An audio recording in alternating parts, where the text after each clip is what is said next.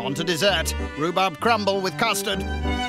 Second night of having crumble. What's wrong with these people? This is definitely a crumble off, I'd say. This is Battle of the Crumbles. Izzy heads into battle by chopping rhubarb and adding port. Careful now. Is that too much? Yeah, okay, let's let's call it that. Steady. I don't know, uh, you know, Well, that's a lot of port in there. what is wrong with a boozy dessert? In goes caster sugar, and it's left to simmer. I know a crumble, and I know a custard, and I know a crumble and custard. You seem to know everything. For the crumble, Izzy measures out flour. With regards to crumble topping, it's more about the texture and what you feel with your fingers and your hands. I see. Next, she mixes butter, muscovado sugar, and oats before leaving to bake. Izzy is going to be making that custard, yeah? Homemade custard for sure, definitely, without a shadow of a doubt. Looks that way. I've never made my own custard. I'm just trying to keep it authentic and keep the whole evening as real as possible, so I'm going to give custard a go. Fair enough. Izzy begins by heating milk and cream before mixing egg yolks with corn flour, caster sugar, and vanilla extract. Who needs to go to the gym? Time to add the milk.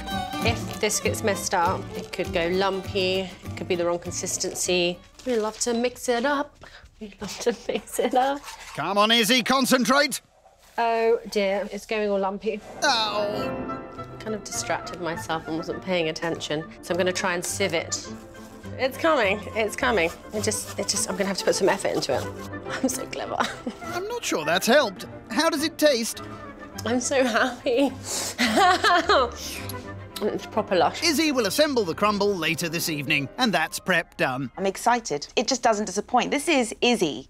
This menu is Izzy all over. On to pud then. I'm really happy. Lovely and brown and crunchy. Izzy dishes up the rhubarb. On goes the crumble, followed by a dollop of whatever that is. Yeah, it looks like mashed potato, so I'm going to try and jazz it up a little bit.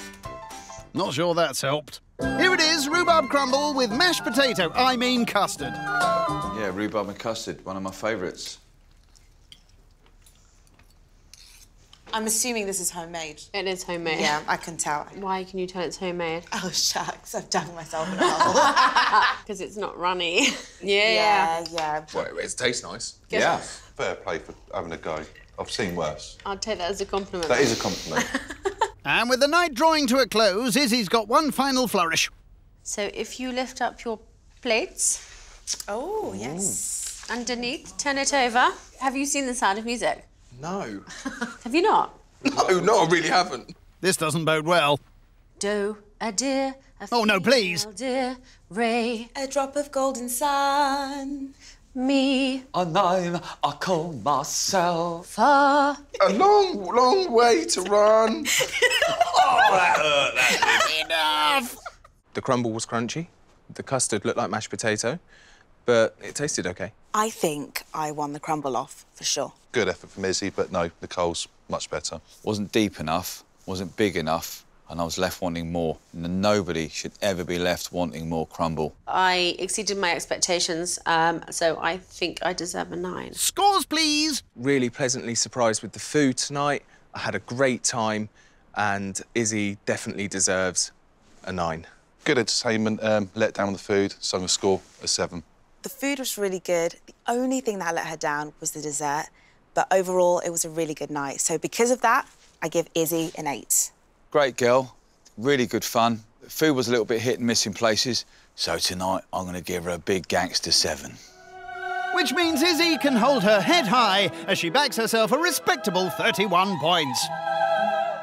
Next time, a difficult diner. Mark, where do I start? Did I ruin your night, babe? No, you didn't ruin my night at all. Wearing that, I would have sent you home. So I should have had a tie. I didn't have a tie. Still looked hot though. And someone backs the cash. Hey!